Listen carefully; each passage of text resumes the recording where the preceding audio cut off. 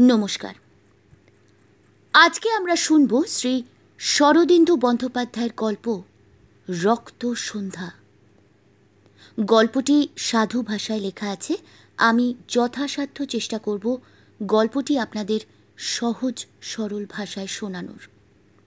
শুরু করছি গল্প রক্ত সন্ধ্যা।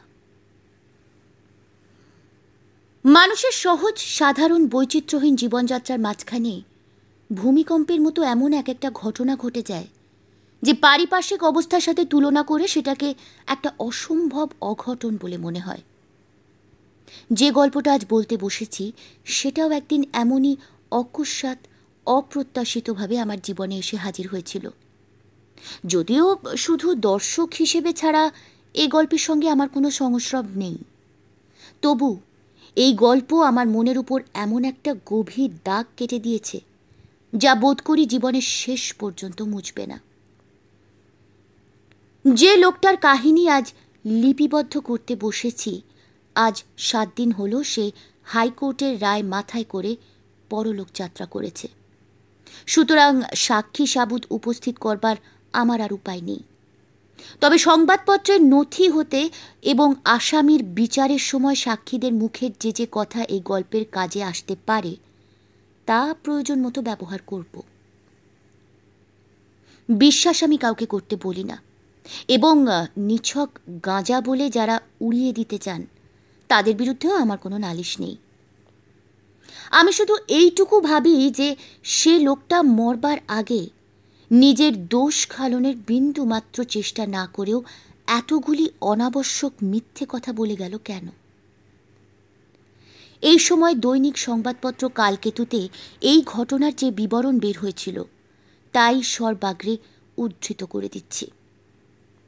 গতকাল বেলা প্রায় সাড়ে নটার সময় কলকাতার দুর্গাচরণ ব্যানার্জি লেনে এক কসাইয়ের দোকানে ভীষণ হত্যাকাণ্ড সংঘটিত হয়ে গেছে। দোকানের মালিক গোলাম কাদের অন্য দিনের মতো যথারীতি মাংস বিক্রি করছিল। দোকানে কয়েকজন ফিরিঙ্গি ও মুসলমান খরিদ্দার উপস্থিত ছিল। এমন সময় একজন অপরিচিত ফিরিঙ্গি দোকানে প্রবেশ করে কিছু গোমাংস খরিদ করতে চায়। তাকে দেখে দোকানদার গোলাম কাদের ভীষণ চিৎকার করে মাংস কাটা ছুরি হাতে তার উপর লাফিয়ে পড়ে এবং নৃশংসভাবে তার বুকে, পেটে, মুখে ছুরিকাঘাত করতে থাকে। আক্রান্ত ব্যক্তি মাটিতে পড়ে যায়, তখন গোলাম কাদের তার বুকের ওপর বসে এক একবার ছুরিকাঘাতের সঙ্গে সঙ্গে বলতে থাকে। ভাস্কটে গামা এই আমার স্ত্রীর জন্যে, এই আমার কন্যার জন্যে, আমার বৃদ্ধ পিতার জন্যে। দোকানে যারা ছিল, সকলেই এই রোমহর্ষ কাণ্ড দেখে দ্রুত পলায়ন করে এবং পুলিশে খবর দেয়। পুলিশ এসে যখন গোলাম কাদেরকে গ্রেপ্তার করল, তখনও সে মৃতদেহের উপর ছুরি চালাচ্ছে ও পূর্ববৎ বকছে। সন্দেহ হয় যে গোলাম কাদের হঠাৎ পাগল হয়ে গেছে। কারণ হত ব্যক্তির সাথে পূর্ব থেকে তার পরিচয় ছিল বলে জানা যাচ্ছে না। এবং তার স্ত্রী, কন্যা বা বৃদ্ধ পিতা কেউই বর্তমান নেই।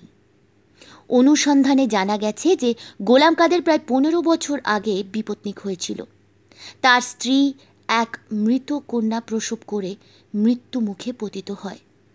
তারপর সে আর বিবাহ করে নাই। পুলিশ তদন্তে বের হয়েছে যে হত ব্যক্তি গোয়া থেকে নবাগত একজন পর্চুগিজ ফিরিঙ্গি। ব্যবসার উপলক্ষে কয়েকদিন আগে কলকাতায় এসে এক ক্ষুদ্র হোটেলে বাস করছিল। তার নাম গেব্রিয়েল ডিরোজা গোলাম কাদের এখন হাজতে আছে। ডিরোজার লাশ পরীক্ষার জন্য হাসপাতালে প্রেরিত হয়েছে। ঘটনাস্থলের খুব কাছেই আমার বাড়ি।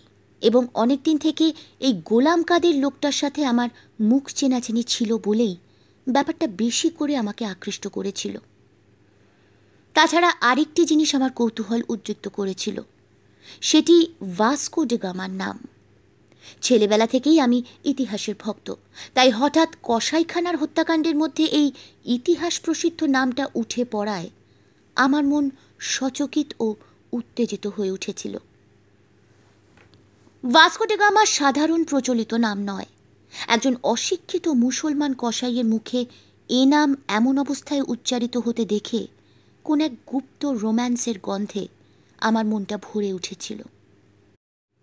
কি অদ্ভুত রহস্য এই বিশ্রী হত্যাকাণ্ডের অন্তরালে প্রচ্ছন্ন হয়ে আছে। কে এই গেব্রিয়েল ডিরোজা যাকে হত্যাকারী ভাস্কো ডে গামা বলে সম্বোধন করল? সত্যি কি এ কেবলমাত্র এক বাতুলের দায়িত্বহীন প্রলাপ? তা সে যাই হোক, কৌতূহল আমার এতই বেড়ে গিয়েছিল যে যেদিন এই মোকদ্দমা করোনারের কোর্টে উঠল, সেদিন আমি একটু সকাল সকাল আদালতে গিয়ে হাজির হলাম। করোনার তখনও উপস্থিত হন নাই, কিন্তু আসামিকে আনা হয়েছে। চারিদিকে পুলিশ গিস করছে। আসামির হাতে হাত করা একটি টুলের উপর চুপ করে বসে আছে। আমাকে দেখে সে চিনতে পারল এবং হাত তুলে সেলাম করল। পাগলের লক্ষণ কিছুই দেখলাম না। নিতান্ত সহজ মানুষের মতো চেহারা। মুখে ভয় বা উৎকণ্ঠার কোনো চিহ্নই নেই। দেখে কে বলবে, এই লোকটাই দুদিন আগে এমন নির্দয়ভাবে আর একটা লোককে হত্যা করেছে। করোনার এসে পড়লেন। তখন কাজ আরম্ভ হলো। প্রথমেই ডাক্তার এসে এজাহার দিলেন। তিনি বললেন, লাশের গায়ে সর্বশুদ্ধ সাতান্নটি ছুরিকাঘাত পাওয়া গেছে। এই সাতান্নটির মধ্যে কোনটি মৃত্যুর কারণ বলা শক্ত, কারণ সবগুলি সমান সাংঘাতিক। ডাক্তারের জবানবন্দি শেষ হলে জর্জ ম্যাথিউজ নামক একজন দেশি খ্রিশ্চানকে সাক্ষী ডাকা হলো। অন্যান্য সওয়াল জবাবের পর সাক্ষী বলল আমি গত দশ বছর প্রায় প্রত্যহ গোলাম কাদেরের দোকানে মাংস কিনেছি।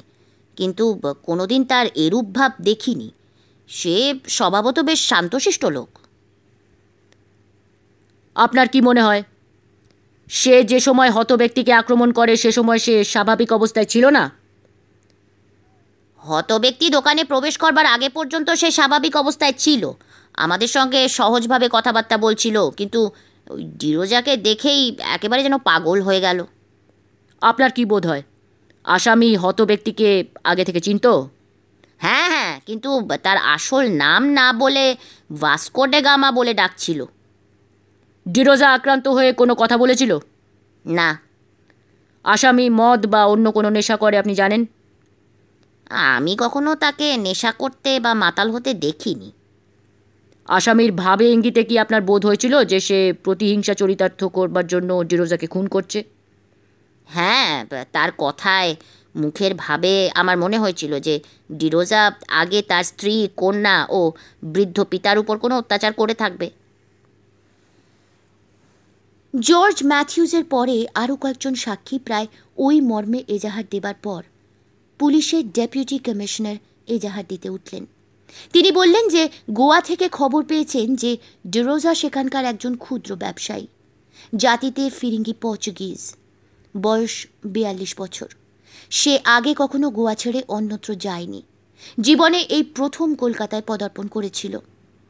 আসামি সম্বন্ধে ডেপুটি কমিশনার বললেন, আসামির আত্মীয় স্বজন, স্ত্রী, পুত্র, পরিবার কেউ নেই। অনুসন্ধানে জানা গেছে যে গত ত্রিশ বছরের মধ্যে সে কলকাতা ছেড়ে কোথাও যায়নি। তার বয়স অনুমান সাতচল্লিশ বছর।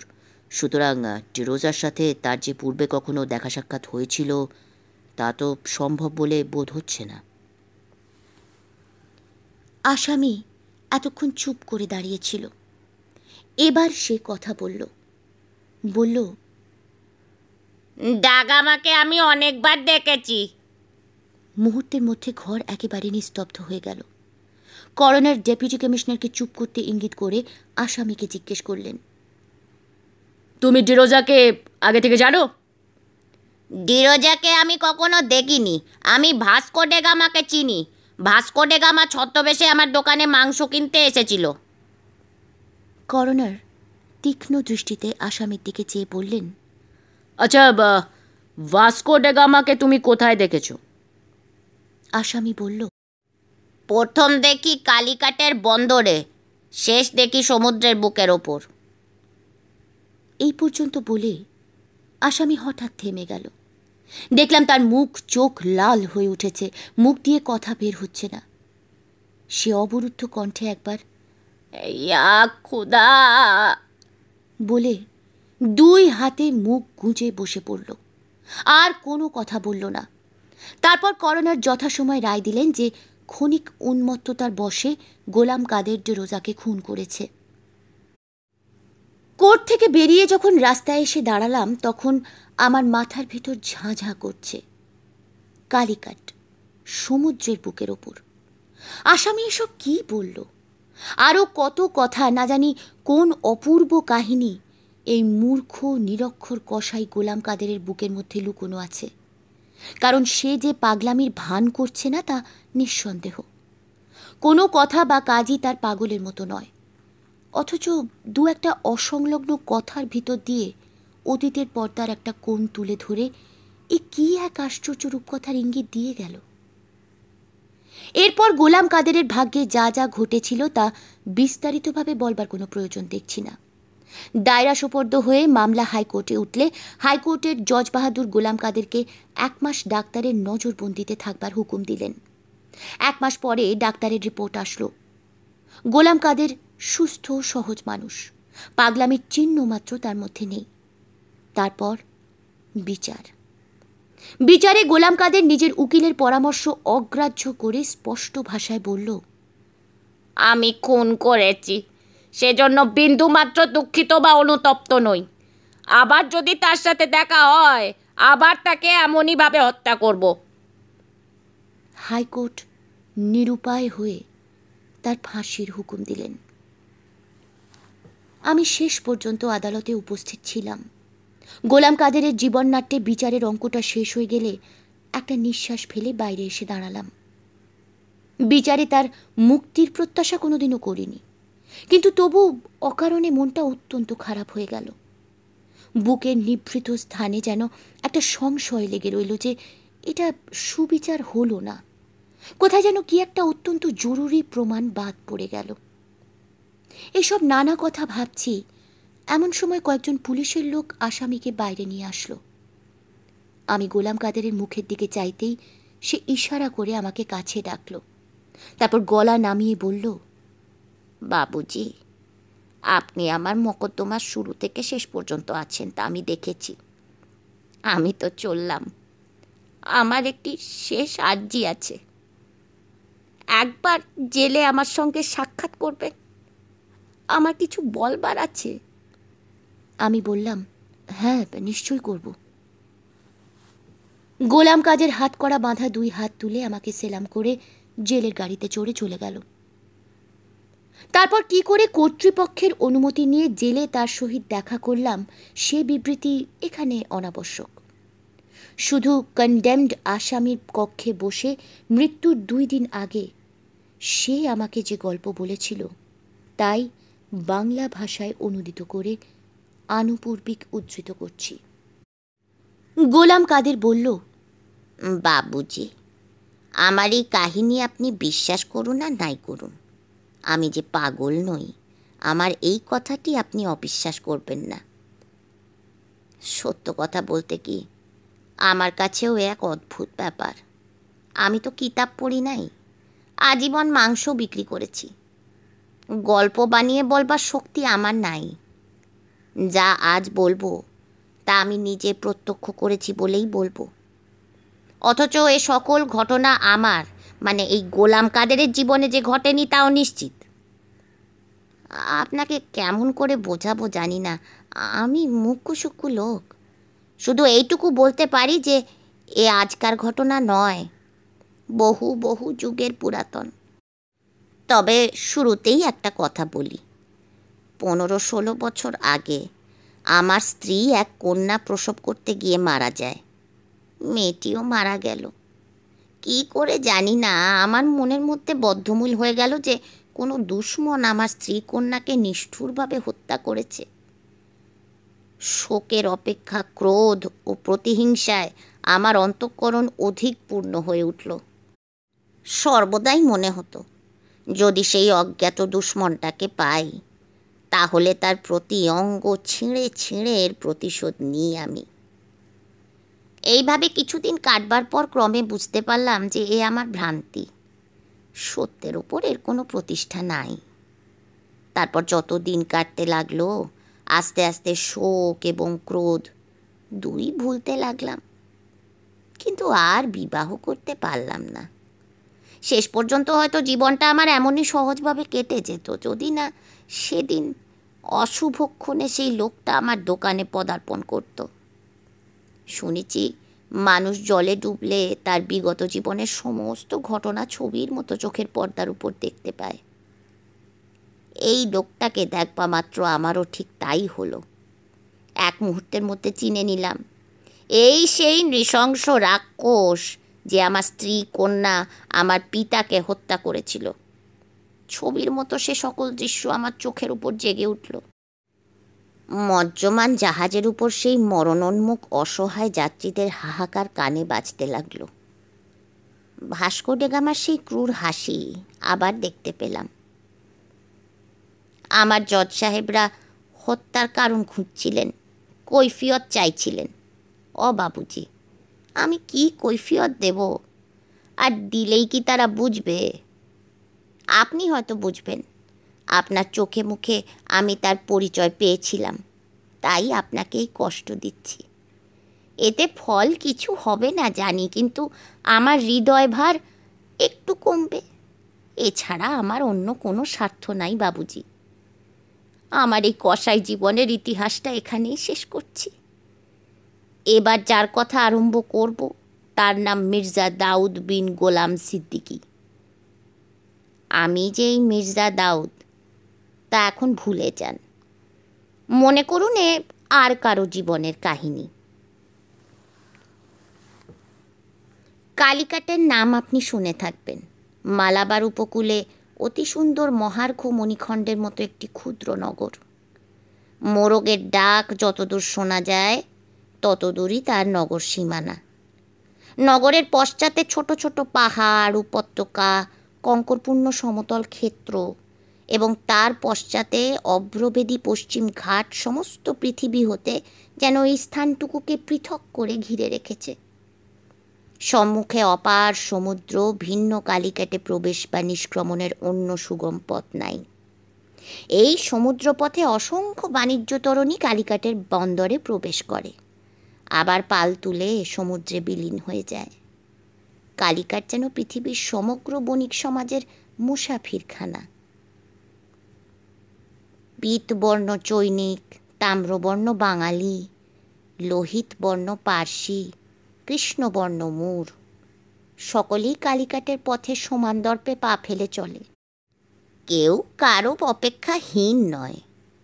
চীন হইতে লাক্ষা দারুশিল্প, ব্রহ্ম হইতে গজদন্ত, মলয়দ্বীপ হইতে চন্দন, বঙ্গ হইতে ক্ষৌম পট্টবস্ত্র, মলমল, ব্যাঘ্র চর্ম চম্পা ও মগধ হইতে চামর, কস্তুরী, চারু কেশরার পুষ্পবীজ।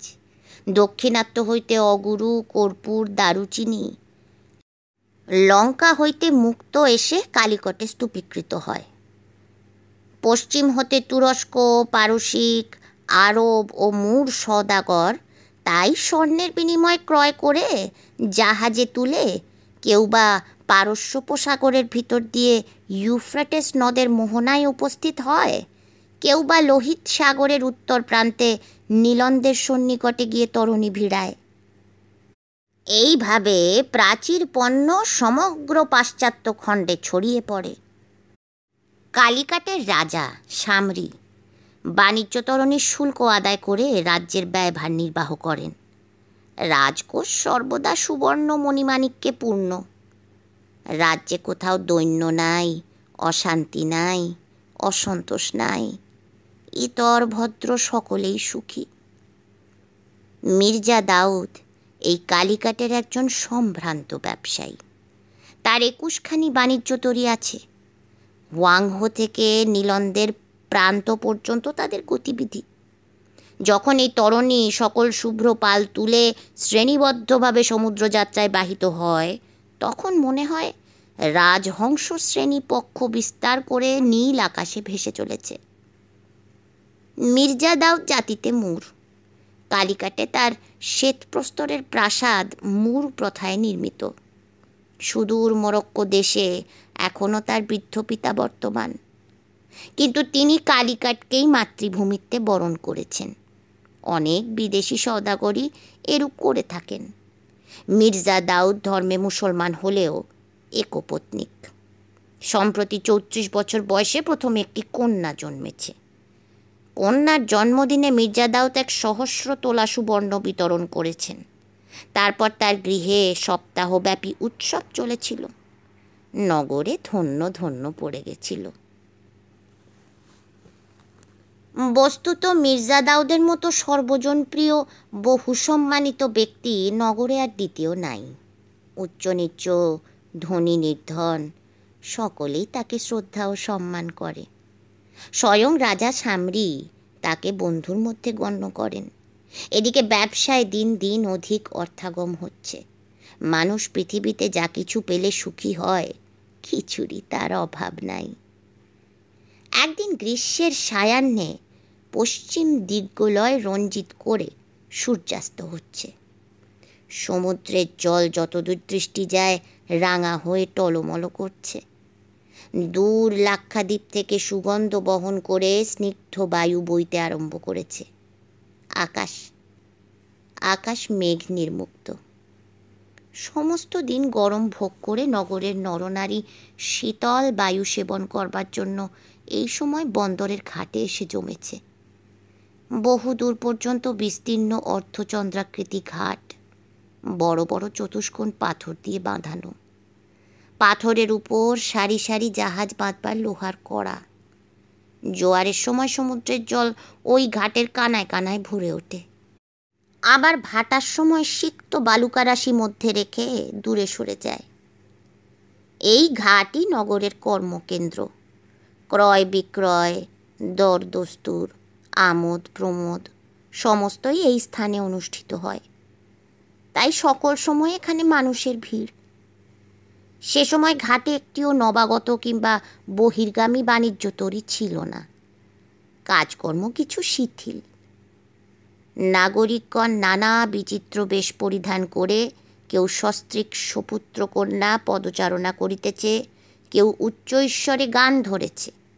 চঞ্চলমতি কিশোরগণ ছুটোছুটি করে খেলা করছে। আবার কেউ বা ঘাট থেকে সমুদ্রের জলে লাফিয়ে পড়ে সন্তরণ করছে। চীন দেশীয় এক বাজিকর নানা প্রকার অদ্ভুত খেলা দেখাচ্ছে। জনতার মধ্যে থেকে মাঝে মাঝে উচ্চ হাসির রোল উঠছে। বাজিকর একজন স্থূলকায় প্রৌঢ় সিংহলিকে ধরে তার কানের মধ্যে দৃষ্টিপাত করে বলল তোমার মাথার মধ্যে দুশো ছাপ্পান্নটি পাথরের নুড়ি রয়েছে। বলো তো বার করে দিই। অমনি জনতা সোল্লাসে চিৎকার করে উঠল, বার করো বার করো। তখন বাজিকর ক্ষিপ্র হস্তে ক্ষুদ্র চিমটা দিয়ে তার কর্ণ থেকে সুপারির মতো বড় বড় অসংখ্য পাথর বার করে মাটিতে স্তূপীকৃত করল। প্রৌঢ় সিংহলি বিস্ময় বিরল হয়ে চোখ বিস্ফারিত করে তা দেখতে লাগল। ভারী হাসির একটা ধুম পড়ে গেল। একজন পরিহাস করে বলল, শেঠ, তোমার মাথা যে এত নিরেট তা তো জানতাম না। ক্রমে সূর্য অস্তমিত হলো। সমুদ্রের গায়ে সীসার রং লাগল। দিগন্তরেখার যে স্থানটায় সূর্য অস্ত গেছিল, তাকে কেন্দ্র করে সন্ধ্যার রক্তিমাভা ধীরে ধীরে সংকুচিত হয়ে আসতে লাগল। এমন সময় দূর সমুদ্র বক্ষে সেই রক্তিমাভার সম্মুখে তিনটি কৃষ্ণ বর্ণের ছায়া আবির্ভূত হল।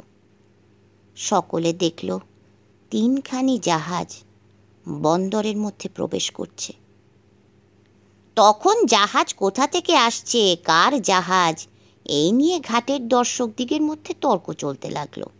কেউ বলল আরবি জাহাজ। কেউ বলল, চীনা। কিন্তু অন্ধকার ঘনিয়ে আসছিল তো। কোন দেশীয় জাহাজ নিশ্চয়রূপে কিছু বোঝা গেল না। মির্জা দাউদ ঘাটে ছিলেন। তিনি বহুক্ষণ একদৃষ্টে সেই জাহাজ তিনটির প্রতি চেয়ে রইলেন। ক্রমে তার মুখে উদ্বেগের চিহ্ন দেখা দিল। তিনি অস্ফুট স্বরে বললেন, পর্তুগিজ জাহাজ কিন্তু ফিরিঙ্গি কোন পথে আসলো? তারপর গগন প্রান্তে দিবাদীপ্তি নিবে যাবার সঙ্গে সঙ্গে তিনটি জীর্ণ সিন্ধু বিধ্বস্ত ক্ষুদ্র পথ ছিন্নপাল নামিয়ে কালিকটের বন্দরে এসে ভিড়ল। পরদিন প্রভাতে সূর্যোদয়ের সঙ্গে সঙ্গে মির্জা দাউদ বন্দরে এসে উপস্থিত হলেন। দেখলেন কয়েকজন বিদেশিকে ঘিরে ভারী ভিড় জমে গেছে। ফিরিঙ্গিগণ অপরিচিত ভাষায় কি যেন বলছে? কেউই বুঝছে না এবং প্রত্যুত্তরে নানা দেশীয় ভাষা তাদের প্রশ্ন করছে। মির্জা দাউদ ভিড় ঠেলে তাদের সম্মুখীন হলেন। তাকে আসতে দেখে সকলে সসম্মানে পথ ছেড়ে দিল। আগন্তুকদের মধ্যে একজন বলল, এখানে পর্তুগিজ ভাষা বোঝে, এমন কেউ কি নাই? আমি জামরিনের সাথে সাক্ষাৎ করতে চাই, দোভাষী খুঁজছি। মির্জা দাউদ দেখলেন, বক্তা শালপ্রাংশু বিশাল দেহ এক পুরুষ।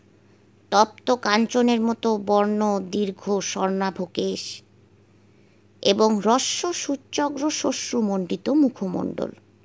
ঊর্ধ্বাঙ্গে সোনার জরির কাজ করা অতি মূল্যবান মখমলের অঙ্গরক্ষা। কোটি হইতে জানু পর্যন্ত ওই মকমলের জাঙ্গিয়া এবং জানু হইতে নিম্নে পদদ্বয় চর্ম নির্মিত খাপে আবৃত। মস্তকে টুপির উপর কঙ্কপত্র বক্রভাবে অবস্থিত। এই পুরুষের সাথে অন্য পাঁচ ছয়জন যারা রয়েছে, তারাও প্রায় অনুরূপ বেশধারী। সকলের কোটিবন্ধে তরবারি। মির্জা দাউদ এই প্রধান পুরুষের আপাদমস্তক নিরীক্ষণ করে গম্ভীরভাবে বললেন, আমি পর্তুগিজ ভাষা বুঝি। নবাগত কিছুক্ষণ স্থির দৃষ্টিতে মির্জা দাউদের মুখের প্রতি চেয়ে রইল। তার মুখ অন্ধকার হলো। সে ধীরে ধীরে বলল, তুমি দেখছি মূর। এই তিনটি শব্দের অন্তর্নিহিত যে সুতীক্ষ্ণ ঘৃণা, তা মির্জা দাউদকে বিদ্ধ করল। তিনিও মনোগত বিদ্বেষ গোপন করবার চেষ্টা না করে বললেন হ্যাঁ আমি মূর। তোমরা দেখছি পর্তুগিজ, জলদস্যু। তোমাদের সাথে পরিচয় আমার প্রথম নয়। কিন্তু ফিরিঙ্গির সঙ্গে আমাদের সদ্ভাব নেই। এতক্ষণে দ্বিতীয় একজন পর্তুগিজ কথা কইল। তার বয়স অল্প। উদ্ধত কণ্ঠে বলল, মূর কুকুরের সহিত আমরা সদ্ভাব রাখি না। মূরের উচ্ছেদ করাই আমাদের ধর্ম। নিমেষ মধ্যে মির্জা দাউদের কোটি থেকে ছুরি বের হয়ে আসলো। দুই চোখ জ্বলে উঠল। কিন্তু পরক্ষণেই আগন্তুকদের প্রধান ব্যক্তি হাত তুলে তাকে নিরস্ত করল। বিনীত স্বরে বলল, মহাশয়, আমার এই স্পর্ধিত সঙ্গীকে ক্ষমা করুন। আপনি মুর এবং আমরা পর্তুগিজ পটে কিন্তু আমরা উভয়ই ব্যবসায়ী, জলদস্যু নই। অন্যত্র যাই হোক, এখানে আমার সাথে আপনাদের বিবাদ নাই। বরঞ্চ আপনার হৃদ্যতা লাভ করলেই আমরা কৃতার্থ হব। তারপর নিজ সংগীত দেখে ফিরে বলল পেড্রো আর কখনো যদি তোমার মুখে এরূপ কথা শুনতে পাই, তোমার প্রত্যেক অস্থি চাকায় ভেঙে তারপর ডালকুত্তা দিয়ে খাওয়াবো। ভয়ে পেড্রোর মুখ পিতপন্ন হয়ে গেল। কিন্তু তথাপি সে কম্পিত বিদ্রোহের কণ্ঠে বলল, আমি সত্যি কথা বলতে ভয় করি না। মুরমাত্রেই আমাদের ঘৃণার পাত্র।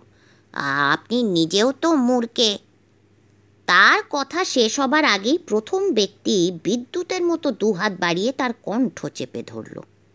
বজ্র মুষ্টিতে নিঃশব্দে কিছুক্ষণ তার কণ্ঠনালী চেপে থাকবার পর ছেড়ে দিতেই পেড্রো হতজ্ঞান হয়ে মাটিতে পড়ে গেল।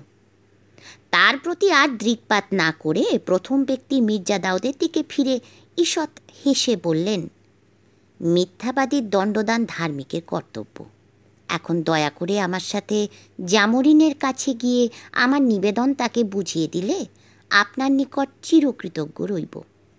বলে মাথার টুপি খুলে আভূমি লুণ্ঠিত করে অভিবাদন করল। দর্শকবৃন্দ, যারা পর্তুগিজ ভাষা বুঝল না, তারা অবাক হয়ে এই দুর্বোধ্য অভিনয় দেখতে লাগল। মির্জা দাউদ আগন্তুকের মিষ্ট বাক্যে ভুললেন না, অটল হয়ে দাঁড়িয়ে রইলেন। শেষে ধীরে ধীরে বললেন ফিরিঙ্গি, তুমি অতি দূর্ত কি জন্য সামরির রাজ্যে এসেছ? সত্য বলো। সে বলল, বাণিজ্য করতে। খ্রিস্টান, আমি তোমাদের চিনি। কলহ তোমাদের ব্যবসায়, লোভ তোমাদের ধর্ম, পরশ্রী কাতরতা তোমাদের স্বভাব। এ রাজ্যে কলহ বিদ্বেষ নাই।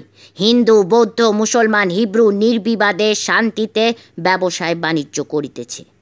সত্য বলো। তোমরা কি উদ্দেশ্যে এই হিন্দে পদার্পণ করেছ? ফিরিঙ্গির মুখ রক্তহীন হয়ে গেল।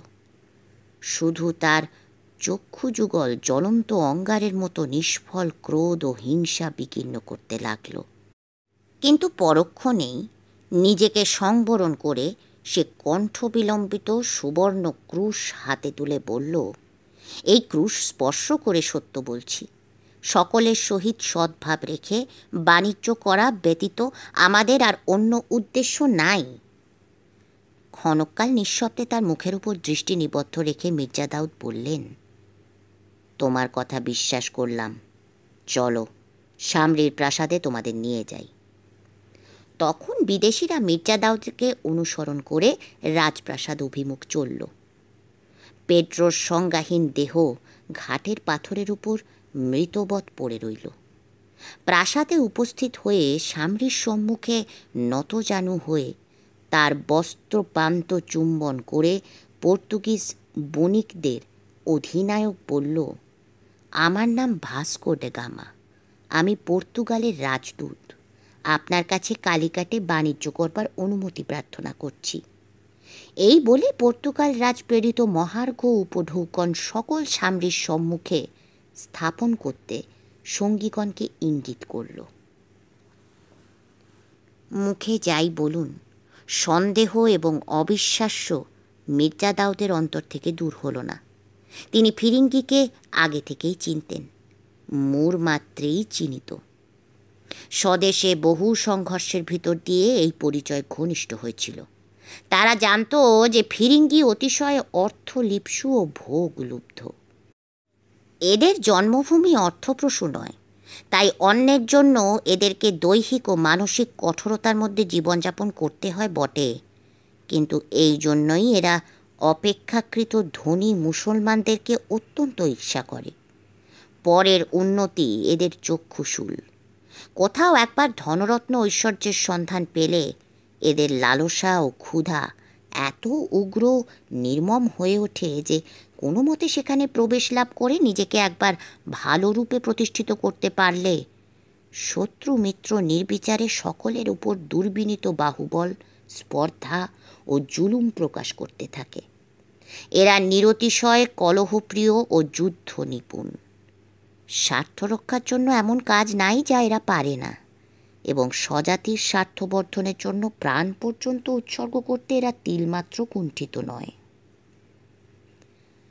পর্তুগাল থেকে সমুদ্রপথে আফ্রিকা প্রদক্ষিণ করে আজ পর্যন্ত কেউ ভারতবর্ষে আসে নাই। এ পথ এতদিন অজ্ঞাত ছিল। ভাস্কো ডাগামা সেই পথ ইউরোপীয়দের জন্য উন্মুক্ত করে দিয়ে বহু নূতন সম্ভাবনা ও দুর্ভাবনার সৃষ্টি করল। সম্প্রতি ভাস্কো গামার উদ্দেশ্য নিশ্চয়ইভাবে বোঝা যায় না। অথচ উদ্ধত ও কটুভাষী পেট্রোর কণ্ঠরোধ করে সে যে একটা গূঢ় অভিপ্রায় গোপন করে গেল। তাও বুঝতে মির্জা দাউদের বিলম্ব হলো না।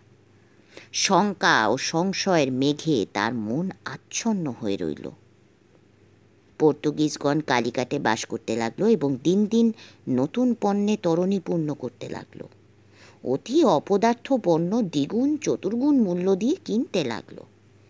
এতে নির্বোধ ব্যবসায়ীরা যতই উৎফুল্ল হোক না কেন মির্জা দাউদের মতন বহুদর্শী শ্রেষ্ঠীদের মনে সন্দেহ ততই ঘনীভূত হয়ে উঠল।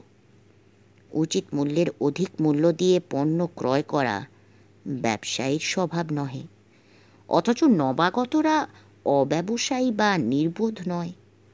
এক্ষেত্রে বাণিজ্য ছল মাত্র, অন্য কোনো দূরভিসন্ধি তাদের অন্তরে প্রচ্ছন্ন আছে। এই অনুমান করে বিচক্ষণ ব্যবসায়ীদের চিন্তা ও উৎকণ্ঠার অবধি রইল না। এইরূপে কিছুকাল বিগত হল। কালিকাটের জীবন প্রবাহ পূর্ববৎ প্রশান্তভাবে চলতে লাগল। একদিন শরৎকালে মেঘমার্জিত আকাশে শুভ্র পাল উড়িয়ে দুটি জাহাজ বন্দরে প্রবেশ করল। সঙ্গে সঙ্গে নগরে রাষ্ট্র হয়ে গেল যে বঙ্গদেশ থেকে প্রভাকর সৃষ্টির নৌকো আসছে। প্রভাকর শেঠ অতি প্রসিদ্ধ বণিক। প্রতি বছর এই সময় লক্ষাধিক মুদ্রার বস্ত্রাদি পণ্য বহন করে তার তরণী কালিকাটে উপস্থিত হয়। কাশ্মীরের শাল, বারাণসীর চেলি কৌশেয় পট্ট, বাংলার মলমল কিনবার জন্য কালিকাটে সদাগর সমাজে হুড়োহুড়ি পড়ে যায়। এত সুন্দর এবং এত মূল্যবান বস্ত্র কেউই আনতে পারে না। সেই জন্যই প্রভাকরের এই খ্যাতি। প্রভাকরের নৌকো ঘাটে লাগবার আগেই নগরের বড় বড় ব্যবসায়ীরা ঘাটে সমবেত হলেন। প্রভাকর নৌকোর উপর দাঁড়িয়ে পরিচিত সকলকে নমস্কার, সম্ভাষণাদি করতে লাগল। সে অতিশয় বাকপটু ও রহস্যপ্রিয়। এজন্য সকলেই তাকে ভালোবাসত। হিব্রু মুসা ইব্রাহিম তাকে ডেকে বললেন, প্রভাকর, এবার তোমার দেরি দেখে আমরা ভেবেছিলাম বুঝি আর আসলে না। পথে তোমাদের সুন্দরবনের কুমির তোমাকে পেটে পুড়েছে।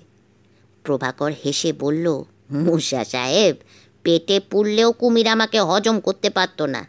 এই যে, মির্জা সাহেব, আদাব আদাব। শরীর গতিক সব ভালো তো? এবার আপনার ফরমাসি জিনিস সমস্ত এনেছি, কত নিতে পারেন দেখব। আপনার কোমরে তলোয়ারখানি নতুন দেখছি। ড্যামাসকাসের বুঝি, আমার কিন্তু এক জোড়া চাই। গৌরেশ্বরের কাছে বাক্যদত্ত হয়ে আছি। ও ভালো কথা। পথে আসতে শ্রীখণ্ডের নিকট আপনার জবদ্বীপ যাত্রী জাহাজের সঙ্গে দেখা হয়েছিল। খবর সব ভালো। হায়দার মুস্তাফা যে ইতিমধ্যে কয়েকটি শাদি করলেন, এবার কিন্তু ইস্পাহানি আঙুরের রস না খাওয়ালে বড়ই অন্যায় হবে। জাম্বো শাঁখালুর মতো দাঁত বার করে হাসিস না, দড়িটা ধর। নৌকো বাঁধা হলে প্রভাকর ঘাটে নেমে সকলের সাথে আলিঙ্গনাদি করল। তখন মির্জা দাউদ জিজ্ঞেস করলেন, প্রভাকর, কী কী সৌদা আনলে?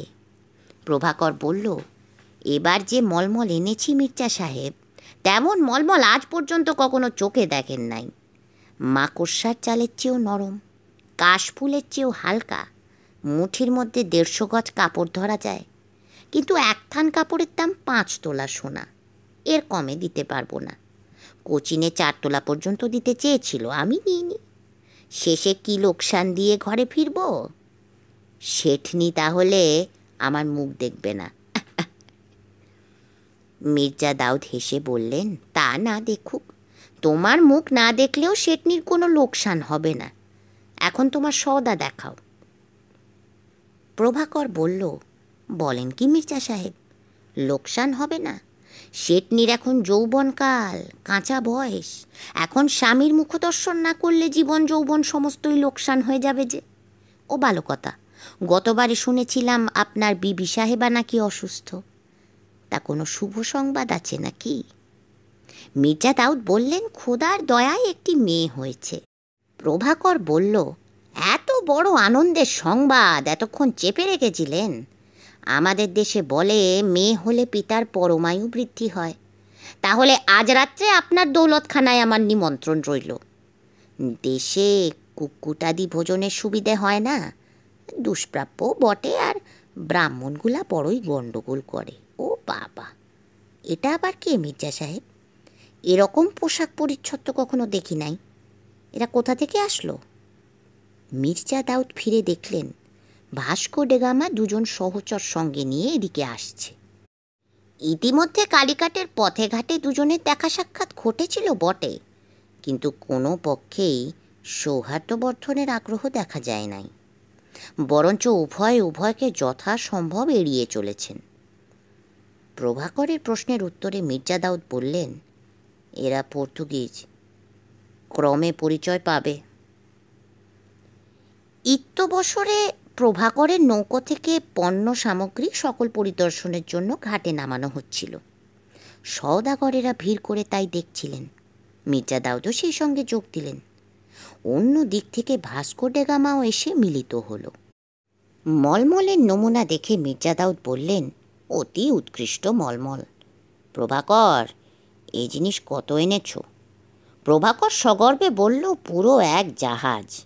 দাউদ বললেন, ভালো আমি এক জাহাজই নিলাম। দরদামের কথা আজ রাত্রে স্থির হবে। ভাস্কো ডেগামা এরূপ অপূর্ব সূক্ষ্ম মলমল আগে কখনো দেখে নাই। বস্তুত এত মহার্ঘ মলমল পারস্য দেশ ভিন্ন, অন্য কোথাও যাইতো না। পর্তুগাল, স্পেন, ফ্রান্স প্রভৃতি পাশ্চাত্য দেশে যা যেত, তা অপেক্ষাকৃত নিকৃষ্ট শ্রেণির মলমল। ড্যাগামার অন্তর লুব্ধ হয়ে উঠল। পোপ এবং রাজা ইম্যানুয়েলকে নজর দিতে হলে এই অপেক্ষা উৎকৃষ্ট বস্তু আর কি আছে? সে বলল, এ মলমল, আমি কিনব। মির্জা দাউদ হেসে বললেন আর উপায় নাই, এই মলমল আমি কিনেছি। ডাগামা প্রভাকরের দিকে ফিরে বলল, আমি অধিক মূল্য দেব। মির্জা দাউদ বললেন, অধিক মূল্য দিলেও পাবে না, এ মলমল এখন আমার। ডাগামা সেদিকে কর্ণপাত না করে প্রভাকরকে লক্ষ্য করে বলল, আমি দ্বিগুণ মূল্য দেব। মির্জা দাউদ বিরক্ত হয়ে বললেন, শতগুণ দিলেও আর পাবে না। ডাগামা বিদ্যুৎ বেগে মির্জা দাউদের দিকে ফিরল, কর্কশ কণ্ঠে বলল, মূর, চুপ কর! আমি মালের মালিকের সাথে কথা বলছি। প্রভাকর বুদ্ধিমান, মির্জা দাউদ তার পুরাতন খরিদ্দার। অথচ এই ব্যক্তিকে সে চেনেও না। সে বলল, উনি এখন মালের মালিক, আমি কেউ নই। উনি যদি আপনাকে বিক্রয় করতে ইচ্ছা করেন, করতে পারেন। ডাকা আমার অশিষ্ট কথায় কিন্তু মির্জা দাউদের মুখ ক্রোধে কৃষ্ণবর্ণ হয়ে উঠেছিল। তিনি তিক্ত কণ্ঠে বললেন ডাগামা আগেও বুঝেছিলাম, কিন্তু আজ তোর প্রকৃত স্বরূপ ধরা পড়ল। ব্যবসায় তোর ভান মাত্র, তুই তস্কর। নচেত অনুচিত মূল্য দিয়ে বাণিজ্য নষ্ট করবি কেন? আহত বাঘের মতো গর্জন করে ভাস্কো ডাগামা নিজের কোটি থেকে তরবারি বার করল। দাঁতে দাঁত চেপে ক্রোধ কষায়িত নেত্রে বলল, স্পর্ধিত মূর আজ তোর রক্তে তরবারির কলঙ্ক ধুবো। মির্জা দাও তো তরবারি নিষ্কষিত করে পড়লেন বর্বর ফিরিঙ্গি, আজ তোকে জাহান নামে পাঠাবো। মুহূর্ত মধ্যে ব্যগ্র জনতা চতুর্দিকে সরে গিয়ে মধ্যে বৃত্তাকৃতি স্থান জুজুৎসুদের জন্য ছেড়ে দিল। শান্তিপূর্ণ বাণিজ্য কেন্দ্র হলেও এরূপ ব্যাপার কালিকটে একান্ত বিরল নয়। কলহ যখন তরবারি পর্যন্ত পৌঁছয়, তখন তা ভঞ্জন করবার প্রয়াস যে শুধু নিষ্ফল নয়, অত্যন্ত বিপজ্জনক, তা কারও অবিদিত ছিল না। তাই সকলে সরে দাঁড়িয়ে অস্ত্র দ্বারা উভয় পক্ষকে বিবাদের মীমাংসা করবার সুবিধে করে দিল।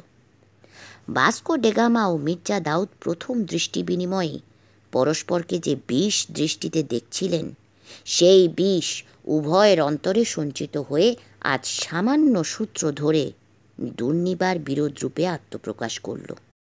এ কলহ যে একজন না মরলে নিবৃত হবে না, তা উভয়ই মনে মনে বুঝলেন। নিস্তব্ধ জনতার কেন্দ্রস্থলে অসিধারী দুজন দাঁড়ালেন। ভাস্কো ডেগামা বিশাল কায় প্রস্তরের মতো কঠিন, হস্তির মতো বলশালী। মির্জা দাউদ অপেক্ষাকৃত কৃষ ও খর্ব, কিন্তু বিষধর কালসর্পের মতো ক্ষিপ্র, তেজস্বী ও প্রাণসার। ভাস্কো ডেগামার তরবারি বেত্রবৎ রিজু, তীক্ষ্ণাগ্র। মির্জা দাউদের তরবারি বক্র ও ক্ষুরধার। নগ্ন কৃপান হস্তে ক্ষণকালের জন্য দুজন পরস্পরকে নিরীক্ষণ করে নিলেন। তারপর ঝড়ের মতো তরবারিকে অগ্রবর্তী করে ভাস্কো ডেগামা আক্রমণ করল। কিন্তু ডাগামার তরবারি মির্জা দাউদের সঙ্গে স্পর্শ করবার আগেই তিনি ক্ষিপ্র হস্তে নিজ তরবারি দ্বারা তা অপসারিত করে সরে দাঁড়ালেন এবং পরক্ষণেই তার বক্র অসি বিদ্যুতের মতো একবার ডাগামার জানু দংশন করে ফিরে আসলো। ডাগামা পিছু হটে আত্মরক্ষা করবার চেষ্টা করল, কিন্তু পারল না। তার জানুর চর্মাবরণ ধীরে ধীরে রক্তে ভিজে উঠল। ডাগামা সেদিকে ভ্রুক্ষেপ করল না, কিন্তু সাবধান হলো। সংযত ও সতর্কভাবে অসি চালনা করতে লাগল। সে বুঝল যে বিপক্ষকে অবজ্ঞা করলে চলবে না। মেটা দাউদের অসি কৌশল অসাধারণ। তার সম্মুখে দ্বিতীয়বার ভুল করলে আর তার সংশোধনের অবকাশ থাকবে না। এদিকে মির্জা দাও তো বুঝলেন যে ডাগামা অসি কৌশলে তার সমতুল্য, কিন্তু তার অপেক্ষা দ্বিগুণ বলশালী। আবার সে তার মতো ক্ষিপ্রগামী ও লঘু দেহ নয় বটে, কিন্তু তরবারি রিজু এবং দীর্ঘ। মির্জা দাউদের তরবারি বক্র এবং খর্ব। তাদের যুদ্ধরীতিও সম্পূর্ণ পৃথক। এক্ষেত্রে মির্জা দাউদ দেখলেন ডাগামার জয়ের সম্ভাবনাই অধিক। মির্জা দাউদ অত্যন্ত সাবধানে যুদ্ধ করতে লাগলেন। সর্প ও নকুলের যুদ্ধে যেমন উভয়, উভয়ের চোখে চোখ নিবদ্ধ রেখে পরস্পরকে প্রদক্ষিণ করতে থাকে এবং সুযোগ পাওয়া মাত্র তীর বেগে আক্রমণ করে আবার সস্থানে ফিরে আসে। ডাগামা ও মির্জা দাউদও সেই রূপে যুদ্ধ করতে লাগলেন। অস্ত্রে অস্ত্রে প্রতিরুদ্ধ হয়ে মুহুর্মুহু ঝনৎকার উঠতে লাগল। চঞ্চল অশিফলকে সূর্যকিরণ পড়ে তড়িৎ রেখার মতো জ্বলে উঠতে লাগল। নিস্পন্দ জনবু সহস্র চক্ষু হয়ে এই অদ্ভুত যুদ্ধ দেখতে লাগল। যুদ্ধের সঙ্গে সঙ্গে মির্জা দাউদ বাক্য শুলে ডাগামাকে বিদ্ধ করতে লাগলেন। ফিরিঙ্গি দস্যু চেয়ে দেখ, তোর রক্ত মানুষের রক্তের মতো লাল নয়, শয়তানের মতো নীল। খ্রিশ্চান কুত্তা, এখনও ক্ষমা প্রার্থনা কর, তোর প্রাণ ভিক্ষা দেব। ডাগামা কোনো উত্তর না দিয়ে নিঃশব্দে যুদ্ধ করতে লাগল। শ্লেষ করে মির্জা দাউদ যে তার ধৈর্যচ্যুতি ঘটাবার চেষ্টা করছেন। চতুর ডাগামা তা বুঝেছিল। যুদ্ধক্রমে আরও প্রখর ও তীব্র হয়ে উঠল। দুই যোদ্ধারই ঘন ঘন শ্বাস বইল। সর্বাঙ্গে ঘাম ছড়তে লাগল, কিন্তু উভয়ই যেন এক অদৃশ্য বর্মে আচ্ছাদিত। ডাগামার তরবারি বারবার মির্জা দাউদের কণ্ঠের নিকট থেকে, বক্ষের নিকট থেকে ব্যর্থ হয়ে ফিরে গেল। মির্জা দাউদের ওসি ডাগামাকে ঘিরে এক ঝাঁক ক্রুদ্ধ মৌমাছির মতো গুঞ্জন করে ফিরতে লাগল, কিন্তু কোথাও হুল ফোটাতে পারল না। সহসা এক সময় ডাগামা সভয় দেখল যে সে ঘুরতে ঘুরতে একেবারে ঘাটের কিনারায় এসে দাঁড়িয়েছে আর এক পা পিছলেই সমুদ্রের জলে পড়ে যাবে। মির্জা দাউদ তার মুখের ভাব থেকে উচ্চ হাস্য করে উঠলেন। বিদ্রুপ বিষাক্ত কণ্ঠে কইলেন ফিরিঙ্গি, আজ তোকে ওই সমুদ্রের জলে ডুবাবো। তারপর মরা ইঁদুরের মতো তোর রাজা ইম্যানুয়েলের কাছে তোকে বকশিস পাঠিয়ে দেব। এতক্ষণে মির্জা দাউদ যা চাইছিলেন তাই হলো। ভাস্কো ডাগামা ধৈর্য হারালো। উন্মত্ত বন্য মহিষের মতো গর্জন করে ওসি ঊর্ধ্বে উত্তোলন করে সে মির্জা দাউদকে আক্রমণ করল। ইচ্ছা করলে মির্জা দাউদ অনায়াসে ডাগামাকে বধ করতে পারতেন, কিন্তু তা না করে তিনি তরবারির উল্টো পিঠ দিয়ে ডাগামার দক্ষিণ মুষ্টিতে দারুণ আঘাত করলেন। সঙ্গে সঙ্গে তার তরবারি হস্তমুক্ত হয়ে ঊর্ধ্বে উৎক্ষিপ্ত হয়ে দূরে গিয়ে পড়ল। অকস্মাৎ অস্ত্রহীন হয়ে ডাগামা থমকে দাঁড়িয়ে পড়ল।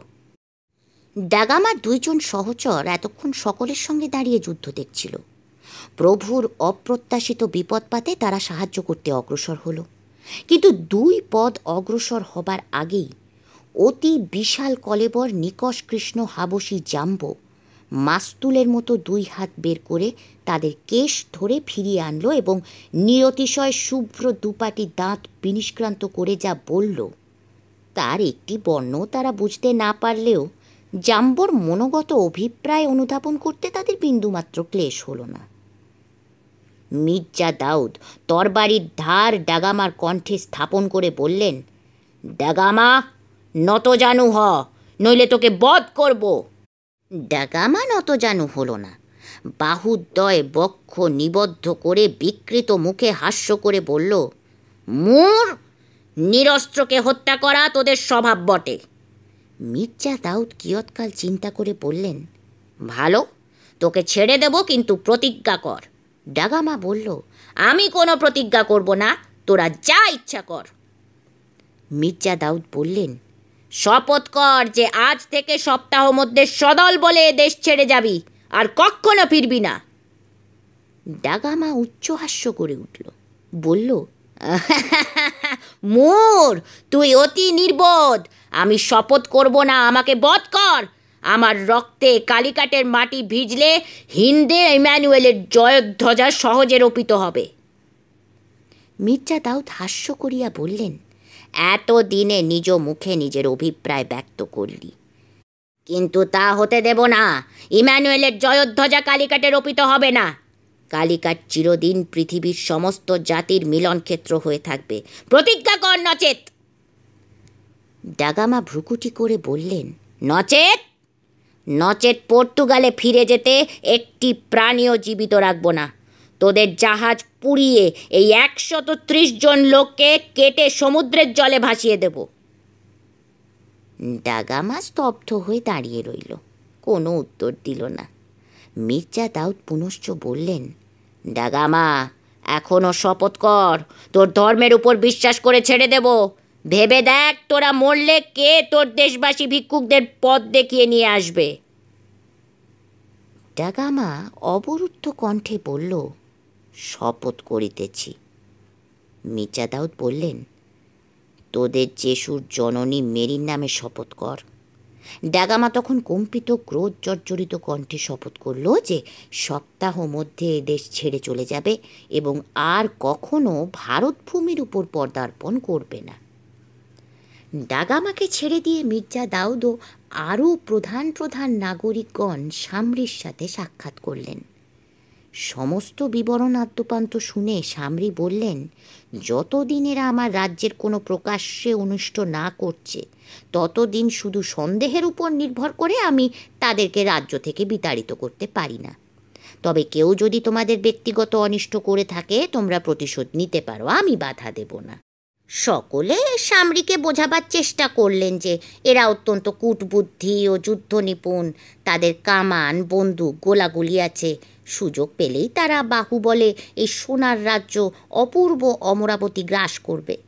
সামরি হেসে উত্তর দিলেন, আমার সৈন্যবল নেই সত্য, কিন্তু সামরি বংশ পঞ্চদশ শতাব্দী ধরেই মসলন্দে রাজত্ব করছে। কেউ তাকে রাজ্যভ্রষ্ট করে নাই। আমার সিংহাসন, সুশাসন ও জনপ্রিয়তার উপর প্রতিষ্ঠিত। এরা আমার কি করতে পারে? সকলে নিরাশ হয়ে ফিরে গেলেন।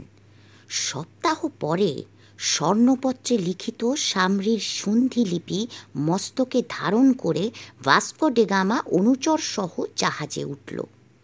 মির্জা দাউদ বন্দর থেকে ডেকে বললেন ডেগামা শপথ স্মরণ রেখো। একটা ক্রূর হাস্য ডাগামার মুখের উপর খেলে গেল। মির্জা দাউদের প্রতি স্থির দৃষ্টি রেখে সে বলল, মির্জা দাউদ, আবার আমাদের সাক্ষাৎ হবে। মির্জা দাউদ হেসে উত্তর দিলেন, সম্ভব নয়, আমি মুসলমান বেহেস্তে যাব। দাগামা দুই চক্ষুতে অগ্নিবর্ষণ করে বলল ইহ জন্মেই আবার আমাদের সাক্ষাৎ হবে। তারপর ধীরে ধীরে তার তিনটি জাহাজ বন্দরের বাইরে হয়ে গেল। চার বছর অতীত হয়েছে। এই চার বছরে যা যা ঘটেছে, তা এই কাহিনীর অন্তর্গত না হলেও সংক্ষেপে বর্ণিত করি। ভাস্কো ডাগামা কালিকাট ত্যাগ করবার দুই বছর পরে আবার পর্তুগিজ জাহাজ ভারতবর্ষে আসলো। এবার পর্তুগিজদের অধিনায়ক অ্যালভারেস কেবলার নামক একজন পাদ্রী এবং তার অধীনে নয়খানি জাহাজ। পাদ্রি অ্যালভারেজ কালিকাট বন্দরে প্রবেশ করেই জাহাজ থেকে নগরের উপর গোলাবর্ষণ আরম্ভ করলেন। ফলে বহু নাগরিকের প্রাণনাশ হলো, অনেকে আহত হলো এবং কয়েকটি অট্টালিকা চূর্ণ হয়ে গেল। এই রূপে রাজা প্রজার মনে ভীতি ও কর্তব্য জ্ঞান সঞ্চারিত করে পর্তুগিজরা আবার ভারত ভূমিতে পদার্পণ করল। রাজা সামরি আগন্তুকদের সম্মান দেখালেন ও তাদের বাসের জন্য নগরের বাইরে ভূমি দান করে কুঠি নির্মাণের অনুমতিও দিলেন। কিন্তু পর্তুগিজদের এই অহেতুক জিঘাংসা ও নিষ্ঠুরতায় কালিকটের জনসাধারণের মন তাদের বিরুদ্ধে ঘৃণা ও বিদ্বেষে পূর্ণ হয়ে উঠল। তারপর কলহ বাঁধতে বিলম্ব হলো না। দাম্ভিক বিদেশিদের প্রতি যাদের ব্যক্তিগত বিদ্বেষ জন্মেছিল, তারা ঝগড়া বাঁধিয়ে রক্তপাত করতে লাগল। পর্তুগিজরাও জবাব দিল। ক্রমে ভিতরে বাইরে আগুন জ্বলে উঠল। একদিন নাগরিকগণ পর্তুগিজদের কুঠিতে অগ্নিসংযোগ করে সত্তর জন ফিরিঙ্গিকে হত্যা করল। অবশিষ্ট পালিয়ে জাহাজে উঠল এবং জাহাজ থেকে গোলা মেরে নগরের এক অংশে আগুন লাগিয়ে দিল। তারপর সেই যে তারা কালিকাট ছেড়ে গেল, দু বছরের মধ্যে আর ফিরে আসলো না। কালিকাটের রাজা প্রজা নিঃশ্বাস ফেলে ভাবল, আপদ দূর হয়েছে, আর ফিরবে না। শেষোক্ত ঘটনা বছরের পরে মির্জা দাউদ স্ত্রী কন্যা নিয়ে তার জন্মভূমি মরক্কো দেশে গেলেন। সেখানে কিছুদিন অবস্থানের পর বৃদ্ধ পিতাকে সঙ্গে নিয়ে মক্কা শরীফ দর্শন করলেন। তারপর তীর্থ দর্শন শেষ করে সকলে মিলে কালিকাটে প্রত্যাবর্তন করছিলেন। কথা ছিল, মক্কা শরীফ থেকে মির্জা দাউদ কালিকাটে আসবেন, তার পিতা মরক্কো দেশে ফিরে যাবেন। কিন্তু পিতা স্থবির ও জরাগ্রস্ত হয়ে পড়েছেন। অধিক দিন পরমায়ু নাই। পুনরায় মরক্কো যাবার সুযোগ হয়তো শীঘ্র হবে না।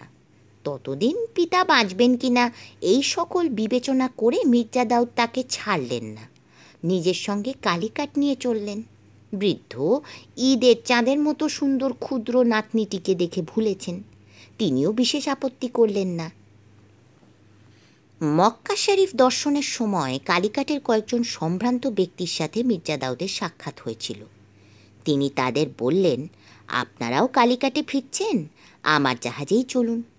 তারা আনন্দিত হয়ে সপরিবারে মির্জা দাউদের জাহাজে আশ্রয় নিলেন। মক্কা থেকে কালিকাট তিন মাসের পথ। জাহাজ যথাসময়ে আরব উপকূল ছাড়িয়ে লোহিত সাগর পার হলো। ক্রমে পারস্য উপসাগর উত্তীর্ণ হয়ে ভারত সমুদ্রে এসে পড়ল। মহাসাগরের বুকের উপর বায়ুবর্তিলিত পালের ভরে মির্জা দাউদের তরণী দক্ষিণাভিমুখে চলেছে। চারিদিকে অতল জল দুলছে, ফুলছে। লক্ষ কোটি খণ্ডে বিচূর্ণিত দর্পণের মতো রবিকরে প্রতিফলিত হচ্ছে। পূর্ণ দিগন্ত রেখা অখণ্ডভাবে তরণীকে চারিদিকে বেষ্টন করে আছে। কেবল বহু দূরে পূর্ব চক্রবালে মেঘের মতো কচ্ছভূমির তটপনানি ঈষণ মাত্র দেখা যাচ্ছে। জাহাজে যে অভিজ্ঞ আর কাটিয়াছে সে বলেছে যে বায়ুর দিক এবং গতি পরিবর্তিত না হলে অষ্টাহ মধ্যে কালিকাটে পৌঁছানো যাবে। আশু যাত্রা শেষ কল্পনা করে আরোহীরা সকলেই হৃষ্ট হয়ে উঠেছেন। সেদিন শুক্রবার। সূর্য ক্রমে মধ্য গগন অতিক্রম করে পশ্চিমে ঢলে পড়ল। জাহাজের বিস্তৃত ছাদের উপর মির্জা দাউদ, তার পিতা ও আরও পুরুষগণ দ্বীপ্রাহরিক নামাজ প্রায় শেষ করেছেন। জাহাজের নিয়ামক সম্মুখে স্থির দৃষ্টি করে হালের নিকট নিশ্চলভাবে দাঁড়িয়ে আছে। চারিদিক নিস্তব্ধ। শুধু তরণীর বেগবিদীর্ণ জলরাশি ফেন হাস্যে কলকল করছে। এমন সময় আকাশ বাতাস প্রকম্পিত করে মেঘগর্জনের ন্যায় ভীষণ শব্দে সকলে চমকিত হয়ে দেখলেন, পশ্চাৎ থেকে পাঁচখানা ফিরিঙ্গি জাহাজ সমস্ত পাল তুলে দিয়ে এবং সঙ্গে সঙ্গে অগণ্য দাঁড় বাইয়ে যেন বহু পদ বিশিষ্ট অতিকায় জলজন্তুর মতো ছুটে আসছে। অতর্কিতে এত নিকটে এসে পড়েছে যে জাহাজের মানুষগুলোকে পর্যন্ত স্পষ্ট দেখা যাচ্ছে। এই আকস্মিক দৃশ্য দেখে সকলেই বুদ্ধিভ্রষ্টের মতো সেই দিকে নিষ্পলকভাবে তাকিয়ে রইলেন। বিস্মিত হবার মতো দৃশ্য বটে। দুই দণ্ড আগেও চতুর্দিকে কোথাও একটা ভেলা পর্যন্ত ছিল না। সহসা সমুদ্রের কোন অতল গুহা থেকে এই পাঁচটা ভীষণ দৈত্য বের হয়ে আসলো। মির্জা তাওদের মন পড়ল, আজ আর রক্ষে নাই। কামান দেগে এরা নিজ আগমন বার্তা ঘোষণা করেছে। আজ তারা দয়ামায়া দেখাবে না। মুরের রক্তে হিংসা চরিতার্থ করবার আজ তাদের সুযোগ মিলেছে। এরূপ ঘটনা প্রতীচ্য খণ্ডের সমুদ্রপক্ষে আগে কখনো ঘটে নাই। শরণাতীত কাল থেকে এই পথে শত শত তরুণী অবাধে যাতায়াত করেছে। চীন হইতে কাশ্মীর রথ পর্যন্ত কেউ কখনো হিংস্রিকা বা বোম্বেটের নাম পর্যন্ত শোনে নাই। স্থলপথ অপেক্ষা জলপথ অধিক নিরাপদ ছিল বলেই জলবাণিজ্য এত প্রসার লাভ করেছিল। কিন্তু আজ যুগ যুগান্তরের বাহিত পণ্য অব্যাহত পথে স্বার্থান্ধ ফিরিঙ্গি তার অগ্নি অস্ত্র নিয়ে পথরুদ্ধ করে দাঁড়াল। কিন্তু যুদ্ধদান করা মির্জা দাউদের পক্ষে অসম্ভব। তার জাহাজ তীর্থযাত্রীর জাহাজ। তাতে বারুদ, গোলা কিছুই নাই। আছে কেবল কতগুলি অসহায় যুদ্ধানভিজ্ঞ ধর্মপরায়ণ তীর্থযাত্রী এবং তদপেক্ষাও অসহায় কতগুলি নারী ও শিশু। এরূপ অবস্থায় পাঁচখানা রণপতের সঙ্গে যুদ্ধ করা বাতুলতা ভিন্ন আর কিছুই নহে। এক উপায় পলায়ন। কিন্তু মির্জা দাউদের জাহাজ কেবল পালের ভরে চলে। বিপক্ষের পাল দাঁড় দুই আছে। এক্ষেত্রে পলায়নও শ্রদ্ধাতীত। মির্জা দাউদ ক্ষণকাল স্তব্ধভাবে চিন্তা করলেন। একবার আকাশের দিকে দৃষ্টি করলেন। আকাশ নির্মেঘ। বেলা প্রায় তৃতীয় প্রহর। রাত্রি হতে বিলম্ব আছে। তিনি নাবিককে ডেকে সমস্ত পাল তুলে প্রাণপণে জাহাজ ছোটাতে আজ্ঞা দিলেন। কিন্তু এই আজ্ঞা পালিত হতে না হতেই জলদস্যুদের পাঁচখানা জাহাজ থেকে একসঙ্গে কামান ডাকলো। একটা গোলা বড় পালের ভিতর ছিদ্র করে জাহাজের পরপারে গিয়ে সমুদ্র গর্ভে প্রবেশ করল। অন্যগুলো জাহাজের চারিদিকে জলের উপর পড়ল। কোনোটাই কিন্তু জাহাজকে গুরুতর জখম করতে পারল না। জাহাজের পুরুষ যাত্রীদের মুখ শুকালো। নিম্ন থেকে ভীত শিশু ও নারীগণের আত্মস্বর ক্রন্দন উঠল। দন্তে দন্ত চেপে মির্জা দাউদ নাবিকদের হুকুম দিলেন, যতক্ষণ পারো জাহাজ চালাও, ফিরিঙ্গি দস্যুর হাতে ধরা দিব না! এমন সময় মির্জা দাউদের চার বছরের কন্যা হাঁপাতে হাঁপাতে উপরে উঠে এসে পিতার জানু জড়িয়ে ধরল। বলল, বাবা, মা তোমাকে ডাকছেন। বলে পিতার মুখের দিকে চোখ তুলে উচ্চ ঈশ্বরে কেঁদে উঠল। বাবা আমার বড় ভয় করছে। মির্জা দাউদ কন্যাকে দুহাতে তুলে বুকে চেপে ধরলেন। তার কানে কানে বললেন হরুণা কাঁদিস না। তুই মুরের কন্যা, তোর কিসের ভয়? আজ আমরা সকলে একসঙ্গে বেহেস্তে যাব। কন্যাকে পিতার কোলে দিয়ে মির্জা দাউদ নিচে নেমে গেলেন। সম্মুখেই আকুল নয়না স্ত্রীর সাথে সাক্ষাৎ হলো। নিজ কোটি থেকে ক্ষুদ্র মাণিক্য খচিত ছুরি পত্নীর হাতে দিয়ে সংযত কণ্ঠে কহিলেন, সালেহা, বোধহয় আজ অন্তিমকাল উপস্থিত হয়েছে। বোম্বেটে জাহাজ পিছু নিয়েছে। যদি তারা এ জাহাজে পদার্পণ করে, এ ছুরি নিজের উপর ব্যবহার করো তার পূর্বে কিছু করো না, আর অন্যান্য স্ত্রীলোকদের আশ্বাস দিয়েও অকারণে যেন ভয় না পায়। চললাম। এই বলে মুহূর্তকালের জন্য পত্নীর মস্তক পক্ষে চেপে ধরে মির্জা দাউদ উপরে ফিরে গেলেন। উপরে উঠে দেখলেন এই অল্পকালের মধ্যে দস্যু জাহাজগুলি অর্ধচন্দ্রাকারে তাদেরকে ঘিরে ফেলেছে। এত কাছে এসে পড়েছে যে তাদের কণ্ঠস্বর পর্যন্ত স্পষ্ট শোনা যাচ্ছে। মির্জা দাউদ দেখলেন, প্রত্যেক জাহাজ থেকে কামানের মুখ তাদের প্রতি লক্ষ্য করে আছে। এত কাজ থেকে এবার আর লক্ষ্যভ্রষ্ট হবে না। মির্জা দাউদের পিতা এসে বললেন, দাউদ, আর উপায় নাই। ধরা না দিলে জাহাজ ডুবি হয়ে মরতে হবে। মির্জা দাউদ বললেন, ধরা দিলেও নিশ্চয়ই মরতে হবে। তার অপেক্ষা ডুবে মরাই শ্রেয়। পিতা বললেন, সে কথা ঠিক। কিন্তু সঙ্গে শিশু ও স্ত্রীলোক রয়েছে, তাদের রক্ষা করবার চেষ্টা করা উচিত নয় কি? মির্জা দাউদ কিয়ৎকাল চিন্তা করে বললেন, কিন্তু দস্যুরা শিশু ও নারীদের দয়া করবে কি? বরঞ্চ পিতা বললেন, ফিরিঙ্গি অর্থলোভী, অর্থের বিনিময় তাদের ছেড়ে দিতে পারে। অন্যান্য পুরুষগণও বৃদ্ধের বাক্য সমর্থন করলেন। মির্জা দাউদ তখন বললেন, ভালো, চেষ্টা করে দেখা যাক। ঠিক এই সময় একখানা জাহাজ থেকে আবার কামান দাগল। এবার গোলার আঘাতে প্রকাণ্ড মাস্তুল পাল শুদ্ধ মর্মর শব্দে ভেঙে পড়ল এবং সঙ্গে সঙ্গে স্তূপীকৃত পালের কাপড়ে আগুন লেগে গেল। রমণীরা এতক্ষণ পর্যন্ত আব্রু রক্ষা করে জাহাজের খোলের মধ্যেই ছিল। কিন্তু এবার আর লজ্জার বাধা মানল না। সন্তানপতিরা সন্তান কোলে নিয়ে, যাদের সন্তান নাই, তারা যে যেমনভাবে ছিল, উচ্চ ঈশ্বরে কাঁদতে কাঁদতে উপরে উঠে আসলো। সকলেই ভয়ে বিরলা। কেউ ঊর্ধ্বমুখী নতজানু হয়ে ঈশ্বরের নিকট প্রাণের আকুল আবেদন জানাতে লাগল।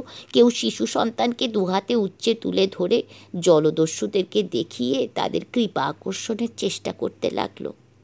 এদিকে পালের আগুন ক্রমে বেড়ে উঠে জাহাজময় ব্যপ্ত হবার উপক্রম করল। পুরুষগণ তখন সমুদ্র থেকে জল তুলে অগ্নি নির্বাপনের চেষ্টা করতে লাগলেন। বহু কষ্টে অনেক জল ঢালবার পর অগ্নি নির্বাপিত হলো। তখনকার মতো জাহাজ রক্ষা পেল। একখানা ফিরিঙ্গি জাহাজ মির্জা দাউদের জাহাজের একেবারে পাশে এসে পড়েছিল। মধ্যে মাত্র একশত গজের ব্যবধান। কামান ঘুরিয়ে তারা আবার গোলা ছোড়বার উদ্যোগ করছিল। তখন মির্জা দাউদ উচ্চ কণ্ঠে তাদেরকে ডেকে বললেন, গোলা ছুড়ো না, আমরা আত্মসমর্পণ করছি। কামান ছেড়ে তারা উল্লাস ধ্বনি করে উঠল। তাদের মধ্যে একজন, বোধহয় সেই প্রধান নাবিক, বলল, তোমাদের জাহাজে যত অস্ত্র আছে, জলে ফেলে দাও, নইলে কামান ছুড়ব। মির্জা দাউদ বললেন, আমাদের সঙ্গে কোনো অস্ত্র নাই। ইহা তীর্থযাত্রীর জাহাজ তো। যা কিছু ধনরত্ন সঙ্গে আছে দিচ্ছি, আমাদের ছেড়ে দাও। এইরূপ কথাবার্তা হচ্ছে এমন সময় আক্রমণকারী জাহাজের ভিতর থেকে একজন পুরুষ উপরে উঠে আসলো। অতি মহার্ঘ বেশভূষায় সজ্জিত বিশাল দেহ এক পুরুষ। তাকে দেখে মির্জা দাউদের বুকের রক্ত সহসা যেন স্তব্ধ হয়ে গেল। চিনলেন, ভাস্কো ডেগামা তার মুখের উপর কৃষ্ণ কালসর্পের মতো হিংসা যেন কুণ্ডলিত হয়ে আছে। মির্জা দাউদকে দেখে ভাস্কো ডেগামা হাসল। মাথার কঙ্কপত্রযুক্ত টুপি খুলে তা আভূমি সঞ্চারিত করে বলল, মির্জা দাউদ, আজ সুপ্রভাত। স্মরণ আছে? বলেছিলাম আবার দেখা হবে। মির্জা দাউদের মুখ দিয়ে সহসা কথা বের হলো না। ভাস্কো ডেগামা তখন পূর্বোক্ত প্রধান নাবিকের দিকে ফিরে কঠোর কণ্ঠে বলল, ক্যাপ্টেন, কামান নীরব কেন? আমার হুকুম কি ভুলে গেছ? ভীত ক্যাপ্টেন বলল, প্রভু, ওরা ধনরত্ন দিয়ে পরিত্রাণে রাজ্যি করছে। দুই জাহাজ ক্রমে আরও নিকটবর্তী হচ্ছিল। ডাগামা আবার মির্জা দাউদের দিকে ফিরে শ্লেষ তীক্ষ্ণ কণ্ঠে বলল, মোর ধনরত্ন দিয়ে প্রাণ ভিক্ষা চাও? মির্জা দাউদ বললেন, নিজের প্রাণ ভিক্ষা চাই না। আমাদের সর্বস্ব নিয়ে বৃদ্ধ, নারী ও শিশুদের ছেড়ে দাও। ডাগামা শত্রুর লাঞ্ছনার রস অল্প অল্প করে পান করতে লাগল। বলল, বৃদ্ধ, নারী ও শিশুদের ছেড়ে দেব? তাতে আমাদের লাভ? বরঞ্চ তোমরা যুবতী নারীদের আমাদের নিকট পাঠিয়ে দিয়ে পুরুষগণ প্রাণ বাঁচাতে পারো। আমাদের জাহাজে স্ত্রীলোকের কিছু প্রয়োজন হয়েছে। আমার নিজের জন্য নয়, খালাসিদের জন্য। আমার নারীতে রুচি নাই। ক্রোধে, অপমানে মির্জা দাউদের মুখ বিবর্ণ হয়ে গেল। বুঝলেন ডাগামা তাকে নিয়ে খেলা করছে। অতি কষ্টে আত্মদমন করে বললেন, ডাগামা, তোমার প্রস্তাবের উত্তর দিতে ঘৃণা হচ্ছে আমার। যদি অভিরুচি হয়, আমাদের সাথে যা মূল্যবান সামগ্রী ও স্বর্ণরৌপ্য আছে তা নিয়ে আমাদের নিষ্কৃতি দাও। নতুবা কিছুই পাবে না। ডাগামা ভ্রুকুটি করে বলল, কিছুই পাবো না। তার অর্থ? মির্জা দাউদ বললেন, তার অর্থ, জোর করলে আমাদের মেরে ফেলতে পারবে, কিন্তু কিছু লাভ করতে পারবে না। যদি আমার জাহাজে চড়াও করবার চেষ্টা করো, তক্তা খুলে জাহাজ ডুবিয়ে দেব। মির্জা দাউদের কথা শুনে ডাগামার ভ্রুকুটি গভীরতর হলো। সে নত মুখে চিন্তা করতে লাগল। এদিকে জাহাজের মাস্তুল ভেঙে যাওয়ায় মির্জা দাউদ পঙ্কে নিবদ্ধ হস্তির মতো চলচ্ছক্তিহীন। ফিরিঙ্গির পাঁচখানা জাহাজ ধীরে ধীরে তিন দিক থেকে ঘিরে আরও নিকটবর্তী হতে লাগল। মির্জা দাউদ অধীর হয়ে কহিলেন, ডাগামা, যা করবে শীঘ্র করো। আমাদের সাথে বারশত তোলা সোনা আছে। আরও অন্যান্য মহার্ঘ বস্তু আছে। যদি পেতে ইচ্ছা করো, শীঘ্র বলো, অধিক বিলম্ব করলে সব হারাইবে। ডাগামা বলল, রমণীদের দেবে না? মির্জা দাউদ গর্জে উঠলেন, না দিব না, আমরা স্ত্রী কন্যার ব্যবসা করি না। ডাগামা বলল, মোর এখনও তোর স্পর্ধা কমলো না? ভালো, অর্থই নেব। তোমার জাহাজে যা কিছু আছে, ভেলায় করে আমার জাহাজে পাঠাও। যা কিছু আছে পেলে ছেড়ে দেবে? দেব। তোমাকে বিশ্বাস কি? আমি মিথ্যে কথা বলি না। মিথ্যাচারী শপথ করেছিলে কখনো হিন্দে পদার্পণ করবে না। তার কি হলো? ডাগামা হেসে বলল, এখনও তো হিন্দে পদার্পণ করি নাই। মির্জা দাউদ তখন অন্যান্য সকলের সহিত পরামর্শ করলেন। সকলেই বললেন, উহাদের কবলে যখন পড়েছি, তখন উহাদের কথায় বিশ্বাস করা ভিন্ন তো উপায় নাই। অগত্যা মির্জা দাউদ সম্মত হলেন। তখন এক ভেলা প্রস্তুত করে তারই উপর যা কিছু ছিল, এমনকি নারীগণের অলঙ্কার পর্যন্ত তুলে ডাগামার জাহাজে পৌঁছিয়ে দেওয়া হলো। ডাগামা জিজ্ঞেস করল, তোমাদের আর কিছু নাই? মির্জা বললেন, না। আবার জিজ্ঞাসা করছি, নারীদের দেবে না? অসহ্য ক্রোধে মির্জা দাউদ বাকরুদ্ধ হয়ে গেল। শুধু তার চক্ষুদ্বয় অগ্নিশিখার মতো জ্বলতে লাগল। ভাস্কো ডিগামা কালকুটের মতো হাসলো। বলল, ভালো, তোমাদের যেরূপ অভিরুচি। তারপর ক্যাপ্টেনের দিকে ফিরে বলল, ক্যাপ্টেন, গোলা মেরে ওদের জাহাজে আগুন লাগিয়ে দাও। আজ মুসলমান কুকুরগুলোকে পুড়িয়ে মারবো। মির্জা দাউদ চিৎকার করে উঠলেন শট বিশ্বাসঘাতক, মিথ্যেবাদী শয়তান! ডাগামা বলল, মির্জা দাউদ, তোর প্রাণ রক্ষা করতে পারে এত অর্থ পৃথিবীতে নাই, তবে তুই তোর স্ত্রীর বিনিময়ে এখনও প্রাণ রক্ষা করতে পারিস। তোর স্ত্রীকে আমি বাঁদি করে রাখব। মির্জা দাউদ উন্মত্তের মতো গর্জন করতে লাগলেন, শয়তান শয়তান! জাহাজে ভীষণ কোলাহল উঠল। নরনারী সকলে পাগলের মতো চারিদিকে ছুটোছুটি করতে লাগল। সকলেই যেন এই অভিশপ্ত জাহাজ থেকে পালাবার চেষ্টা করছে। চতুর্দিক থেকে আত্মরব উঠল, রক্ষে করো, দয়া করো, প্রাণ বাঁচাও। এই আকুল প্রার্থনার জবাব আসলো। সহসা শিলাবৃষ্টির মতন জাহাজের উপর বন্দুকের গুলি পড়তে লাগল। কেউ হত, কেউ আহত হয়ে পড়তে লাগল। মৃত্যুর বিভীষিকা যেন ভীষণতর রূপ ধরে দেখা দিল। মির্জা দাউদের পিতা ক্ষুদ্র হারুনাকে বক্ষে নিয়ে কাঁপতে কাঁপতে পুত্রের পাশে এসে দাঁড়ালেন। স্খলিত কণ্ঠে একবার শুধু ডাকলেন, দাউদ। দুর্দম আবেগে মির্জা দাউদ একসঙ্গে পিতা ও কন্যাকে জড়িয়ে ধরলেন। এমন সময় লাজ লজ্জা বিসর্জন দিয়ে সালেহা এসে স্বামীর হাত ধরে দাঁড়ালেন। মির্জা দাউদ বাষ্পাচ্ছন্ন চোখে একবার তিনজনের মুখের দিকে চাইলেন। তারপর অবরিদ্ধ স্তরে বললেন, পিতা, ঈশ্বর কি নাই? সহসা হারুনা ক্ষুদ্র একটি কাতরোক্তি করে এলিয়ে পড়ল। দ্রুত কন্যাকে নিজের কোলে নিয়ে মির্জা দাউদ দেখলেন, তার দেহে প্রাণ নাই। নিষ্ঠুর গুলি তার বক্ষে প্রবেশ করেছে। তারপর দ্রুত অনুক্রমে স্ত্রী ও পিতা গুলির আঘাতে পাটিতে পড়ে গিয়ে মরণ যন্ত্রণায় ছটফট করতে লাগলেন। ভাস্কো গামা তখন স্বয়ং ধুমায়িত বন্দুক হাতে করে পিসাচের মতো উচ্চ হাসি হাসছে। সূর্য তখন পশ্চিম দিগন্ত রেখা স্পর্শ করেছে। আকাশ এবং সমুদ্র তপ্ত রক্তের মতো রাঙা হয়ে উঠেছে। সাগর বক্ষে সূর্যাস্ত হচ্ছে। এইবার পাঁচখানা জাহাজ থেকে এককালে কামান ডাকলো। গোলার সংঘাতে শীতার্থ বৃদ্ধের মতো মির্জাদা ওদের জাহাজখানা কেঁপে উঠল। পালের কামড়ে দপ করে আবার আগুন জ্বলে উঠল। ধীরে ধীরে টলতে টলতে জাহাজ নিমজ্জিত হতে লাগল। আবার কামান গর্জালো। এবার জাহাজের সম্মুখ দিকটা ছিন্ন ভিন্ন হয়ে গেল। কলকল শব্দে জল ঢুকতে লাগল। তারপর নিমেষের মধ্যে সমস্ত শেষ হয়ে গেল। আরোহীদের মিলিত কণ্ঠ থেকে এক মহা হাহাকার ধ্বনি উঠল। জ্বলন্ত জাহাজ অকস্মাৎ জীবিতবৎ সোজা দাঁড়িয়ে উঠল। তারপর সবেগে সমুদ্র গর্ভে প্রবেশ করল। যাত্রীদের ঊর্ধ্বত্থিত কণ্ঠস্বর স্তব্ধ হয়ে গেল। মুহূর্ত পূর্বে যেখানে জাহাজ ছিল, সেখানে আবর্তিত তরঙ্গ শীর্ষ জলরাশি ক্রীড়া করতে লাগল।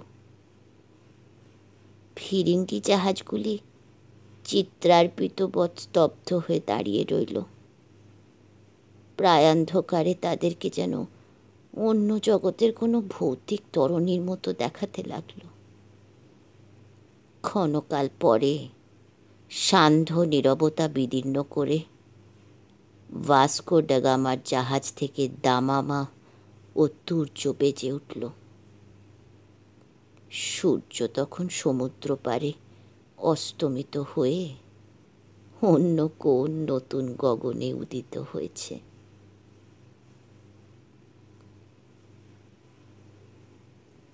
শেষ হলো শ্রী শরদিন্দু বন্দ্যোপাধ্যায়ের গল্প। রক্ত সন্ধ্যা। নমস্কার।